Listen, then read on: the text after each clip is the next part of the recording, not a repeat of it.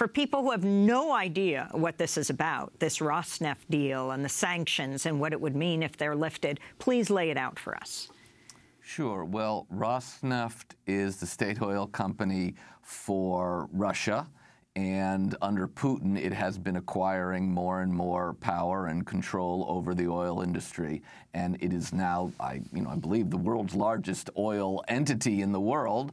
Exxon Mobil is the world's largest, you know, privately held uh, uh, uh, oil company in the world. And, you know, we're entering a period where it's harder and harder to find oil.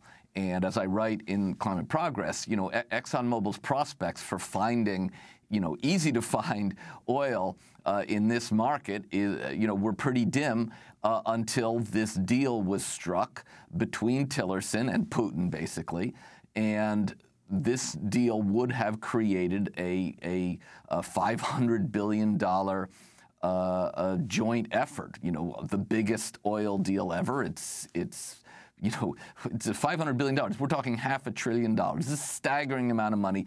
It was a deal that was perhaps going to ensure the future of a stream of oil for uh, Exxon for you know decades to come. Even of course as the world needs to get off of oil. For Putin, you know, this is critical revenue um, and critical outside investment because particularly now in this era of low oil prices, uh, that seriously hurts. Uh, Putin. So this was considered to be a game changer.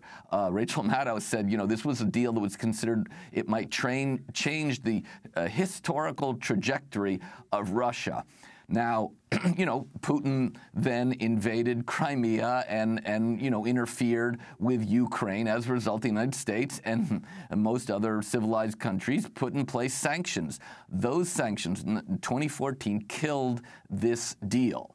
And, you know, as I write in the piece, uh, you know, the question of uh, we, we, the intelligence community now says that Russia interfered in the election on behalf of Putin.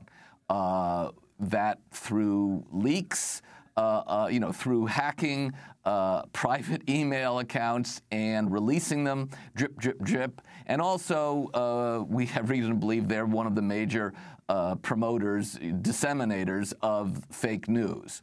So, uh, you know, one can understand the motivation. Uh, you know, some people said, hey, Putin has enough motivation just to, you know, uh, uh cast doubt on the U.S. election. But $500 billion, that is a very big motivation to uh, mess up the U.S. elections. So